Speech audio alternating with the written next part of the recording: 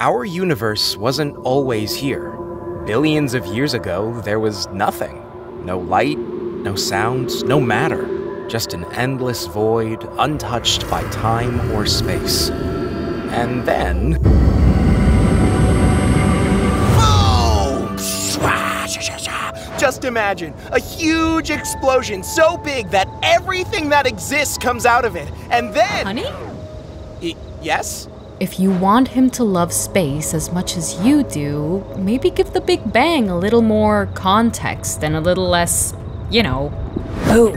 I'm abridging the story. You know how short a kid's attention span is? You can find a balance. Come on, try again.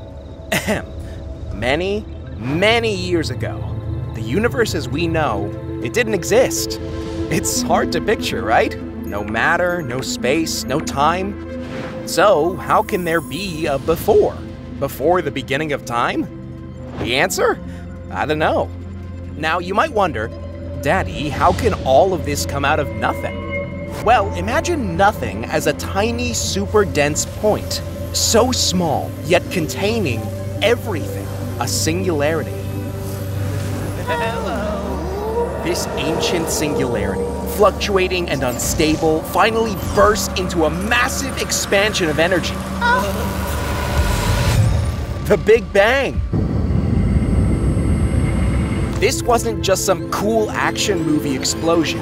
Everything we know had its start there. In the first microseconds, the four fundamental forces of the universe emerged from being initially combined into one. Maybe you could simplify that part a little bit? Fine, I'll make them into characters. I'm gravity. Think of me as the force of attraction between objects with mass.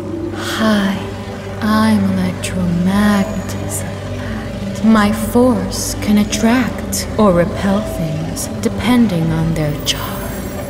Yo, I'm the strong nuclear force. I'm like the glue that holds the nucleus of an atom together. And yeah, I'm the strongest of all the forces. Take that, suckers! Uh, greetings. I'm the weak nuclear force. Uh, I help break atoms apart so they can change into different elements. Uh, it might sound simple, but without forces like mine, the sun wouldn't have the power to shine. Okay, that was pretty clear. If your astronaut gig doesn't pan out, you could always be a teacher. And spend my days telling stories about inanimate objects with over exaggerated personalities? Who would even enjoy that? I don't know. You'd be surprised. So, during the first microseconds, a lot happened. The forces we talked about separated as temperatures dropped from this chaotic hot mess. The universe rapidly expanded in a smooth and homogeneous way, and When do we get to see the planets? in a minute, honey, or more like in a few million years. Got it. At one point after the explosion, the universe was just this big gelatinous plasma thingy, filled with all the fundamental particles. As it kept cooling down, some of those particles formed protons and neutrons. Oh, and matter and antimatter had a bit of a showdown. Luckily for us, matter won. Yay!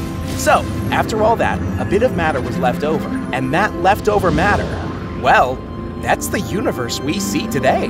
Wow. All of this happened in how many years? Guess what? Not even a single second has passed yet. Really? Cool. So, when do we get to see the planets? I told you. Okay, okay. I'll be patient.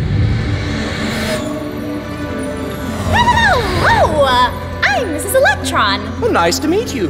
I'm Mr. Proton.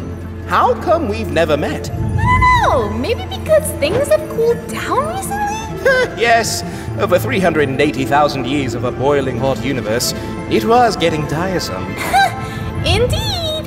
So, now that things are more chill, wanna hang out? Is that allowed? Maybe. Who cares? Let's do it! Whee! And so, the first ever atoms began to form.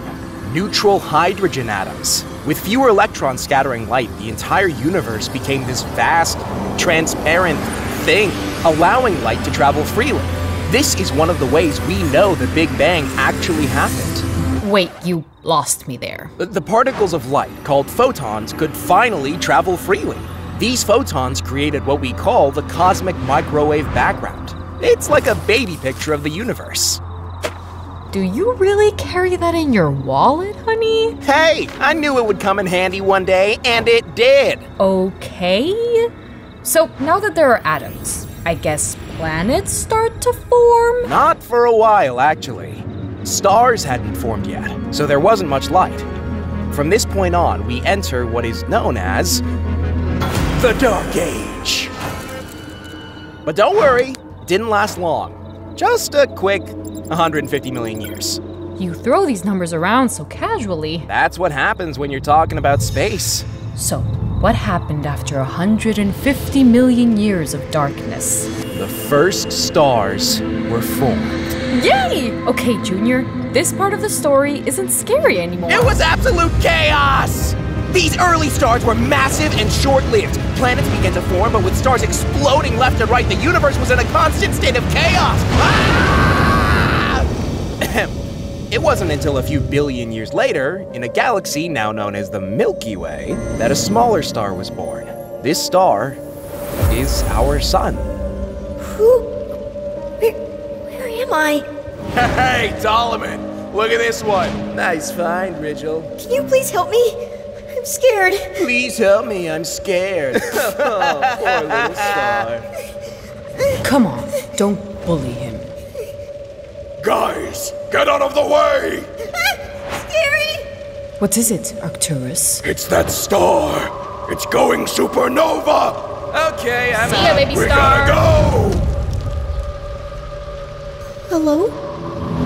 Uh, Are you in pain? Run, little one. Hello? No! Don't go to sleep! Please! I don't want to be alone!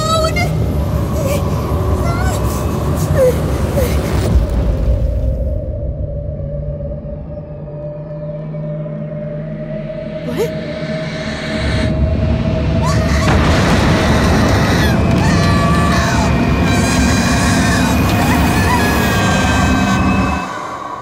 And I guess that's good enough for now. good night, son.